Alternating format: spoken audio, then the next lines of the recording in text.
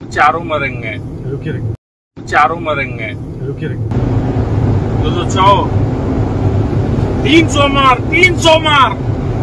भाई कुछ तो तीन सौ मार। मैं इस्लामुद्दीन खान और आप देख रहे हैं प्रहार टाइम्स। एक भयानक बीएमडब्ल्यू कार और कंटेनर के बीच में ज़बरदस्त टक्कर में चार लोगों की मौत की खबर सामने आई है। हादसा शुक्रवार को हुआ है मगर इस हादसे का एक वीडियो अब सामने आया है, जिसमें बीएमडब्ल्यू में सवार चार लोग सुल्तानपुर पूर्वांचल एक्सप्रेस पर करीब 230 किलोमीटर प्रति घंटे की रफ्तार से ये कार चला रहे थे। ये वीडियो दरअसल फेसबुक पर लाइव की गई थी। इस कार में सवार चार लोग फेसबुक लाइव थे और कार को करीब 300 तक ले जाने की बात ये लोग कह रहे हैं और कह रहे हैं कि ब्रेक मत लगा और तेज़ गाड़ी चला, जाने दे जाने दे, तेज़ चलाओ। इसी दौरान एक व्यक्ति ये भी कहता है कि चारों एक साथ मरेंगे और दुर्भाग्य से ऐसा ही हुआ।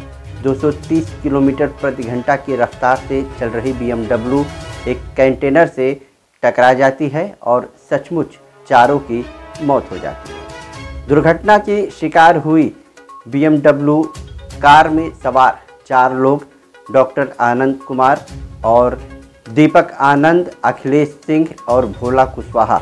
इन चारों की जो है दर्दनाक मौत हो गई है।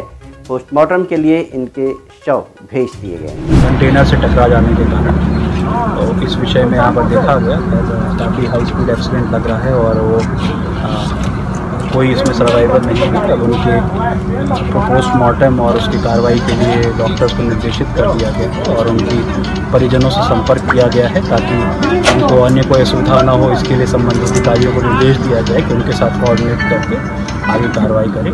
और हमारे यूपिडा के सिक्योरिटी ऑफिसर साहब भी यहाँ पर उपस्थित हैं। वो इसका पूरा समीक्षा करके इस विषय में जाँच करके उचित कार्रवाई करेंगे सर इनकी पहचान हुई? सर कहाँ से कहाँ जा ये ये उत्तराखंड के निवासी हैं। अभी और डिटेल्स उनके परिजन अभी बताएँ।